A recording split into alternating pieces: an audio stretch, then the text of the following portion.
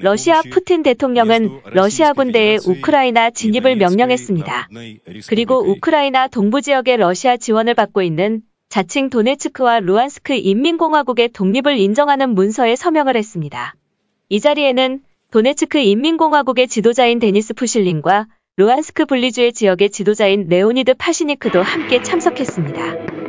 두 개 지역에서 연일 포성이 울리고 총동원령이 발표되면서 남자를 제외한 수만 명의 주민들이 안전지역으로 대피하고 있는 가운데 독립인정 서명식이 있던 날 시민들의 독립인정 축하 행사들이 펼쳐졌습니다. 최고조의 전운이 감돌고 있는 상황에서 벌어진 불꽃 축하쇼는 이를 보고 있는 전 세계인들에게 많은 것을 시사합니다.